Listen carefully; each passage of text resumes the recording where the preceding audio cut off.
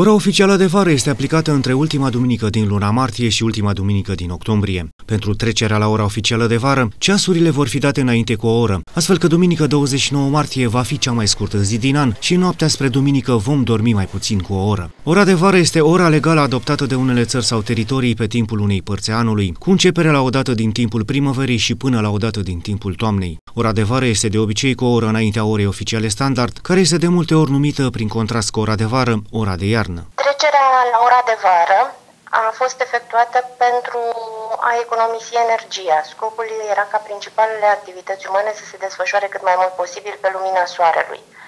România a adoptat ora de vară pentru prima dată în 1932, din 1943, practica trecerii la ora de vară a fost suspendată, apoi reintrodusă începând cu 1979. Ideea trecerii la ora exactă de vară îi aparține celebrului om de știință Benjamin Franklin și provine din secolul al XVIII-lea. Acesta a studiat modul în care lămpile cu ulei produceau lumină și cât de eficiente erau acestea și a înțeles că o schimbare de oră ar atrage economii. Efectele orei de vară asupra economiei uh, nu se justifică, având în vedere că nu s-a constatat o economisire a energiei, o economisire substanțială a energiei.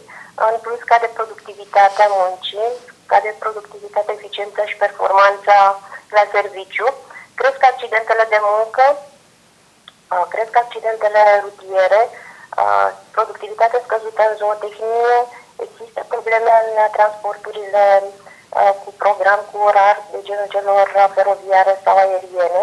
În același timp și organismul uman este afectat, schimbarea orei având efecte negative prin perturbarea ceasului biologic, prin tulburări de somn și dispariția apetitului. Riscul de infarct crește cu 10% în primele trei zile după schimbarea orei și s-a constatat că poate crește și rata sinuciderilor, îndeoseb la bărbați. Iată numai câteva motive pentru care în prezent această schimbare este contestată în unele medii, iar unele state au renunțat definitiv la ora de vară, în timp ce altele vor să o oficializeze definitiv. Multe state au renunțat la trecerea la ora de vară. Primul dintre ele a fost Rusia, um, iar um, foarte multe state vor să uh, declare ora de vară ca ora oficială a statelor respective prin lege. Lăsând statisticile la o parte, schimbarea orei de la iarnă la vară poate afecta chiar și terorismul. Un atac terorist a omorât teroriștii tocmai pentru că nu au ținut cont de uh, ora de vară bomba a explodat mult mai devreme, cu o oră față decât uh, își, uh, își propuseseră ei ca acțiune.